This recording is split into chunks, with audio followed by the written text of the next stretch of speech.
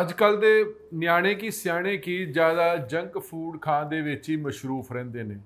ਪਰ ਇਹ ਜਿਹੜਾ ਜੰਕ ਫੂਡ ਕਿਸੇ ਵੇਲੇ ਅਜਿਹਾ ਕਾਰਨ ਬਣ ਜਾਂਦਾ ਕਿ ਜ਼ਿੰਦਗੀ ਤੋਂ ਵੀ ਹੱਥ ਧੋਣੇ ਪੈਂਦੇ ਨੇ। ਤੇ ਨਿਊਡਲਸ ਖਾਣ ਦਾ ਮਸਲਾ ਸਾਹਮਣੇ ਆਇਆ।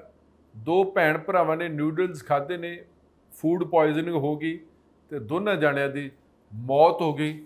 ਅਜਿਹੇ ਗਮ ਦੇ ਵਿੱਚ ਘਰ ਡੁੱਬਿਆ ਕਿ ਉਹਨਾਂ ਮਾਪੇ ਭੁੱਬਾ ਮਾਰ-ਮਾਰ ਕੇ ਰੋ ਰਹੇ ਨੇ। ਸੋਚ ਰਹੇ ਨੇ ਕਿ ਆਖਰ ਨਾ ਬੱਚਿਆਂ ਦੀ ਪੂਰੀ ਜਿੱਦ ਕੀਤੀ ਹੁੰਦੀ, ਨਾ ਉਹਨਾਂ ਨੇ ਨਿਊਡਲਸ ਮਵਾ ਕੇ ਦਿੱਤੇ ਹੁੰਦੇ, ਉਹ ਨਾ ਨਿਊਡਲਸ ਖਾਂਦੇ ਤੇ ਨਾ ਉਸਨਾਂ ਤੋਂ ਫੂਡ ਪੋਇਜ਼ਨਿੰਗ ਹੁੰਦੀ। ਅਕਸਰ ਡਾਕਟਰ ਵੀ ਵਾਰ-ਵਾਰ ਔਰ ਸਿਆਣੇ ਵੀ ਕਹਿ ਰਹੇ ਨੇ ਕਿ ਜਿਹੜੇ ਜੰਕ ਫੂਡ ਆ, ਇਹ ਸਿਹਤ ਲਈ ਹਾਨੀਕਾਰਕ ਆ। ਲੇਕਿਨ ਨਾ ਹੀ ਅੱਜਕੱਲ ਬੱਚੇ ਮੰਨਦੇ ਨੇ ਤੇ ਨਾ ਹੀ ਮਾਪੇ। ਕਿਉਂਕਿ ਰਸੋਈ ਘਰਾਂ ਦੇ ਵਿੱਚ ਲਗਭਗ ਬੰਦ ਹੋ ਚੁੱਕੀ ਆ। ਮਾਪੇ ਆਰਡਰ ਕਰ ਦਿੰਦੇ ਨੇ, ਬੱਚਿਆਂ ਦੀ ਫਰਮਾਇਸ਼ ਪੂਰੀ ਹੋ ਜਾਂਦੀ ਆ।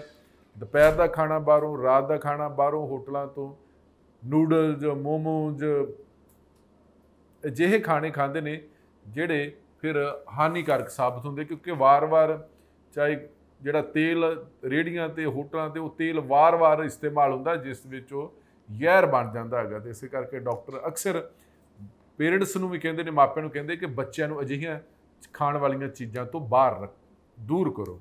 ਹੁਣ ਤਾਜ਼ਾ ਮਾਮਲਾ ਆਇਆ ਸੋਨੀਪਤ ਦਾ। ਨੂਡਲਸ ਖਾਣ ਤੋਂ ਬਾਅਦ ਬੱਚਿਆਂ ਦੇ ਪੇਟ ਦੇ ਵਿੱਚ ਦਰਦ ਹੋਇਆ ਤੇ ਹਸਪਤਾਲ ਜਦੋਂ ਲੈ ਕੇ ਗਏ ਤੇ ਭੈਣ ਭਰਾ ਦੀ ਮੌਤ ਹੋ ਗਈ। ਸੋਨੀਪਤ ਦੀ ਮਾਇਆਪੁਰੀ ਕਲੋਨੀ ਵਿੱਚ ਪਹਿਲਾਂ ਬੱਚਿਆਂ ਨੇ ਪਰੌਂਠੇ ਖਾਦੇ ਪਰੌਂਠੇ ਖਾਣ ਤੋਂ ਬਾਅਦ ਉਹਨਾਂ ਨੇ ਨੂਡਲਸ ਖਾਦਾ ਤੇ ਨੂਡਲਸ ਖਾਣ ਤੋਂ ਬਾਅਦ ਭੈਣ ਭਰਾ ਦੀ ਜਿਹੜੀ ਉਹ ਮੌਤ ਹੋਣ ਦਾ ਸਮਾਚਾਰ ਪ੍ਰਾਪਤ ਹੋਇਆ। ਅੰਦੇਸ਼ਾ ਇਹ ਹੈ ਕਿ ਫੂਡ ਪੋਇਜ਼ਨਿੰਗ ਦੇ ਨਾਲ ਮੌਤ ਹੋਈ ਆ। ਔਰ ਡਾਕਟਰ ਨੇ ਹੁਣ ਜਿਹੜਾ ਦੋਨਾਂ ਬੱਚਿਆਂ ਦਾ ਵਿਸਰਾ ਲੈ ਕੇ ਜਾਂਚ ਲਈ ਖਾਨਪੁਰ ਤੇ ਮਧੂਬਨ ਜਿਹੜੀ ਲੈਬ ਆ, ਉੱਥੇ ਭੇਜ ਦਿੱਤਾ ਗਿਆ। ਬੱਚਿਆਂ ਦੇ ਪਿਤਾ ਭਪਿੰਦਰ ਨੇ ਦੱਸਿਆ ਕਿ ਬੁੱਧਵਾਰ ਰਾਤ ਤਿੰਨੇ ਬੱਚਿਆਂ ਨੇ ਪਰੌਂਠੇ ਪਹਿਲਾਂ ਖਾਦੇ ਤੇ ਬਾਅਦ ਦੇ ਵਿੱਚ ਨਿਊਡਲਸ ਖਾਦੇ ਹੈਗੇ। ਰਾਤ 1 ਵਜੇ ਬੇਟੀ ਹਿਮਾ, ਜਿਹਦੀ ਉਮਰ 7 ਸਾਲ ਆ, ਬੇਟਾ ਤੁਰਨ, ਜਿਹਦੀ ਉਮਰ 5 ਸਾਲ ਆ, ਉਹਨਾਂ ਦੋਨਾਂ ਦੇ ਪੇਟ ਦੇ ਵਿੱਚ ਦਰਦ ਹੋਇਆ। ਇਸ ਤੋਂ ਬਾਅਦ ਹਾਲਤ ਉਹਨਾਂ ਦੀ ਵਿਗੜਦੀ ਗਈ ਹੈਗੀ। ਔਰ ਉਹ ਪਹਿਲਾਂ ਦੋਨਾਂ ਬੱਚਿਆਂ ਨੂੰ, ਹਿਮਾ ਨੂੰ ਤੇ ਤਰ ਨੂੰ ਪਹਿਲਾਂ ਇੱਕ ਪ੍ਰਾਈਵੇਟ ਹਸਪਤਾਲ ਵਿੱਚ ਲੈ ਕੇ ਗਏ ਨੇ। ਉਸ ਤੋਂ ਬਾਅਦ ਉਹਨਾਂ ਨੂੰ ਸੋਨੀਪਤ ਦੇ ਸਿਵਲ ਹਸਪਤਾਲ 'ਚ ਲਿਜਾਇਆ ਗਿਆ, ਜਿੱਥੇ ਇਲਾਜ ਦੇ ਦੌਰਾਨ ਹਿਮਾ ਤੇ ਤਰਨ ਦੋਨਾਂ ਦੀ ਮੌਤ ਹੋ ਗਈ, ਦੋਨਾਂ ਨੇ ਦਮ ਤੋੜ ਦਿੱਤਾ। ਤੇ ਜਿਹੜਾ ਵੱਡਾ ਬੇਟਾ ਪ੍ਰਵੇਸ਼, ਉਹਦਾ ਵੀ ਹਲੇ ਇਲਾਜ ਚੱਲ ਰਿਹਾ ਹੈਗਾ। ਔਰ ਸਭ ਤੋਂ ਵੱਡੀ ਗੱਲ ਹੈ ਕਿ ਉਹ ਹਲੇ ਠੀਕ ਆ ਤੇ ਪਰ ਪੁਲਿਸ ਨੇ ਜਿਹੜੇ ਨੂਡਲਸ ਦੇ ਸੈਂਪਲ ਲੈ ਲਏ ਨੇ।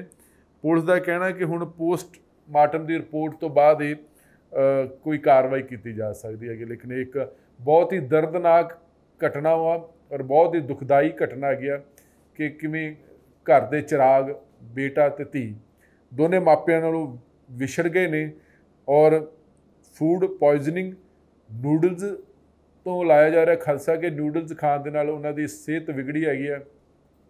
ਸਿਹਤ ਇੰਨੀ ਜ਼ਿਆਦਾ ਵਿਗੜੀ ਕਿ ਪਹਿਲਾਂ ਪੇਟ ਦੇ ਵਿੱਚ ਦਰਦ ਹੋਈ, ਉਸ ਤੋਂ ਬਾਅਦ ਉਹਨਾਂ ਨੂੰ ਇੱਕ ਪ੍ਰਾਈਵੇਟ ਹਸਪਤਾਲ ਦੇ ਵਿੱਚ ਇਲਾਜ ਵਾਸਤੇ ਲਿਜਾਇਆ ਗਿਆ, ਜਿੱਥੇ ਉਹ ਪ੍ਰਾਈਵੇਟ ਹਸਪਤਾਲਾਂ ਨੇ, ਵਾਲਿਆਂ ਨੇ ਜਿਹੜੀ ਸਥਿਤੀ ਦੇਖੀ ਕਿ ਜ਼ਿਆਦਾ ਖਰਾਬ ਹੋ ਚੁੱਕੀ ਹੈ ਭੈਣ ਭਰਾ ਦੀ, ਉਹਨਾਂ ਨੇ ਸਿਵਲ ਹਸਪੀਟਲ ਭੇਜ ਦਿੱਤਾ ਸੋਨੀਪਤ, ਜਿੱਥੇ ਇਲਾਜ ਦੌਰਾਨ ਉਹਨਾਂ ਦੀ ਮੌਤ ਹੋ ਗਿਆ। ਹੁਣ ਸਵਾਲ ਹੈ ਕਿ ਬੱਚੇ ਵੀ ਅਜਿਹੀਆਂ ਜਿਹੜੀਆਂ ਖਾਣ ਵਾਲੀਆਂ ਵਸਤੂਆਂ ਤੋਂ ਗਰੇਜ਼ ਨਹੀਂ ਕਰਦੇ ਹੈਗੇ ਔਰ ਕਿਉਂਕਿ ਬਾਹਰ ਬੰਦੀਆਂ ਨੇ ਰੇੜੀਆਂ ਤੇ ਬੰਦੀਆਂ ਨੇ, ਘੱਟਾ, ਮਿੱਟੀ, ਵਾਤਾਵਰਨ ਪ੍ਰਦੂਸ਼ਿਤ, ਫਿਰ ਜਿਹਦੇ ਵਿੱਚ ਬਣਾ ਜਾਂਦੇ, ਉਹ ਤੇਲ ਬੜੇ ਮਾੜੇ ਹੁੰਦੇ ਨੇ, ਮੈਦਾ ਹੁੰਦਾ, ਨਿਰਾ। ਔਰ ਇਹ ਜਿਹੜੇ ਬੱਚੇ ਨਾ ਖਾਣ ਤੋਂ ਅੜਦੇ, ਮਾਪੇ ਵੀ ਉਹਨਾਂ ਦੀ ਜਿੱਦ ਪੂਰੀ ਕਰਨ ਲੱਗ ਪੈਂਦੇ ਨੇ, ਹਾਲਾਂਕਿ ਘਰ ਦੇ ਵਿੱਚ ਬਣਿਆ ਹੋਇਆ ਖਾਣਾ, ਉਹ ਸਭ ਤੋਂ ਵਧੀਆ ਖਾਣਾ ਹੁੰਦਾ।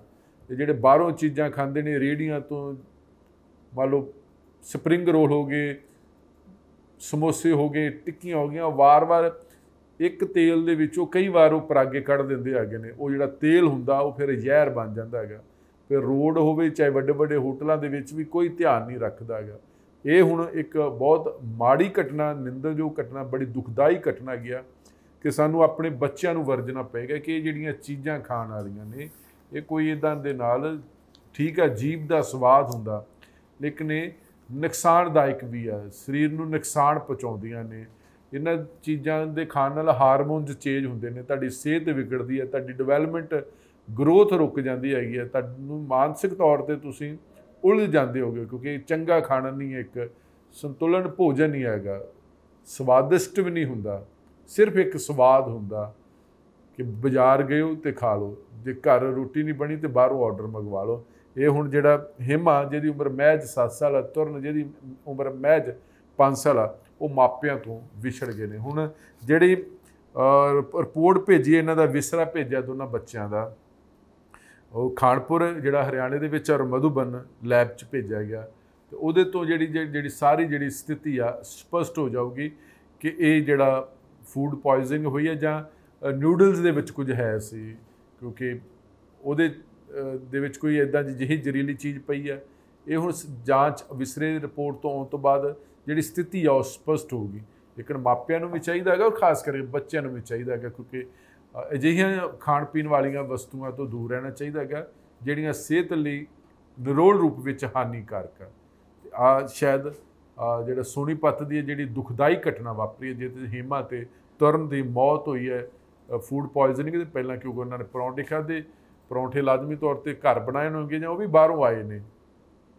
ਕਿਉਂਕਿ ਜਿਹੜਾ ਬਾਹਰ ਪਰੌਂਠੇ ਆ ਤੇ ਤੇਲ ਜਾਂ ਘਿਓ ਵਰਤਿਆ ਜਾਂਦਾ, ਉਹ ਵੀ ਘਟੀਆ ਕੁਆਲਿਟੀ ਦਾ ਹੁੰਦਾ। ਇਸ ਕਰਕੇ ਇਹ ਚੀਜ਼ਾਂ ਤੋਂ ਗਰੇਜ਼ ਕਰਨਾ ਚਾਹੀਦਾ। ਖਾਣ ਪੀਣ ਘਰ ਦੀ ਜਿਹੜੀ ਰਸੋਈ ਆ, ਘਰ ਦੇ ਵਿੱਚ ਜੋ ਖਾਣਾ ਬਣਦਾ, ਉਹ ਬੈਸਟ ਖਾਣਾ ਹੁੰਦਾ। ਲੇਕਿਨ ਹੁਣ ਦੇਖਦੇ ਹਾਂ, ਵਿਸਰਾ ਰਿਪੋਰਟ ਆਉਣ ਤੋਂ ਬਾਅਦ ਜਿਹੜੀ ਸਥਿਤੀ ਸਪਸ਼ਟ ਹੋ ਜੂ ਕਿ ਜਿਹੜਾ ਫੂਡ ਪੋਇਜ਼ਨਿੰਗ ਦੇ ਕਾਰਨ ਕੀ ਆ। ਨੂਡਲਸ ਦੇ ਵਿੱਚ ਕੋਈ ਅਜਿਹੀ ਜ਼ਹਿਰੀਲੀ ਚੀਜ਼ ਤੇ ਨਹੀਂ ਸੀ। ਜਾਂ ਕੀ ਕੁਝ ਉਹ ਜਿਹੜੀ ਸਾਰੀ ਸਥਿਤੀ ਸਪਸ਼ਟ ਹੋ ਜੂਗੀ। ਲੇਕਿਨ ਫਿਲਹਾਲ ਇਹ ਬਹੁਤ ਹੀ ਦੁਖਦਾਈ ਘਟਨਾ ਜਿਹੜੀ ਅਸੀਂ ਤੁਹਾਨੂੰ ਪੜ੍ਹ ਕੇ ਤੁਹਾਡੇ ਨਾਲ ਸਾਂਝੀ ਇਸ ਕਰਕੇ ਕੀਤੀ ਹੈ ਕਿ ਬੱਚਿਆਂ ਨੂੰ ਸਮਝਾਉਣਾ ਚਾਹੀਦਾ ਹੈ ਕਿ ਘੱਟੋ ਘੱਟ ਜਿਹੜੀਆਂ ਬਾਹਰਲੀਆਂ ਖਾਣ ਪੀਣ ਵਾਲੀਆਂ ਵਸਤੂਆਂ ਨੇ, ਚਾਹੇ ਉਹ ਹੋਟਲ ਚੰਗੇ ਨੇ, ਚਾਹੇ ਮਾੜੇ ਨੇ, ਚਾਹੇ ਹੋਟਲ ਨੇ, ਚਾਹੇ ਰੇੜੀਆਂ ਨੇ, ਬਾਹਰੋਂ ਜਿਹੜੀ ਖਾਣ ਦੀ ਜਿਹੜੀ ਆਦਤ ਆ ਰੇੜੀਆਂ ਤੋਂ, ਢਾਬਿਆਂ ਤੋਂ, ਹੋਟਲਾਂ ਤੋਂ ਉਹ ਘੱਟੋ ਘੱਟ ਗਰੇਜ਼ ਕੀਤਾ ਜਾਵੇ। ਘਰ ਦੇ ਵਿੱਚ ਜਿਹੜਾ ਖਾਣਾ ਬਣਦਾ, ਉਹ ਬੈਸਟ ਹੈ ਤਾਜ਼ਾ ਬਣਦਾ ਹੈਗਾ, ਸਾਫ਼ ਬਣਦਾ ਹੈਗਾ ਤੇ ਬਾਹਰੋਂ ਜਿਹੜਾ ਰੇੜੀਆਂ ਤੋਂ, ਹੋਟਲਾਂ ਤੋਂ, ਉਹਦੇ ਵਿੱਚ ਕੋਈ ਸਫ਼ਾਈ ਨਹੀਂ ਹੁੰਦੀ। ਚਾਹੇ ਹੋਟਲਾਂ ਦੇ ਵਿੱਚ ਬਹੁਤ ਸਾਰੀਆਂ ਪਹਿਲਾਂ ਵੀ ਖਬਰਾਂ ਨਸ਼ਰ ਹੁੰਦੀਆਂ ਰਹਿੰਦੀਆਂ ਹੈਗੀਆਂ ਨੇ। ਕਿਵੇਂ ਉਹ ਆਟਾ ਗੁੰਨਦੇ ਨੇ, ਕਿਵੇਂ ਉਹ ਮਠਿਆਈਆਂ ਬਣਾਉਂਦੇ ਨੇ, ਪੈਰਾਂ ਦੇ ਨਾਲ ਹੀ ਆਟਾ ਗੁੰਨਦੇ ਨੇ, ਪੈਰਾਂ ਦੇ ਨਾਲ ਹੀ ਮਠਿਆਈਆਂ ਬਣਾਉਂਦੇ ਨੇ ਤੇ ਅਜਿਹੀਆਂ ਚੀਜ਼ਾਂ ਤੋਂ ਸਾਨੂੰ ਲਾਜ਼ਮੀ ਤੌਰ ਤੇ ਗਰੇਜ਼ ਕਰਨਾ ਚਾਹੀਦਾ ਹੈਗਾ।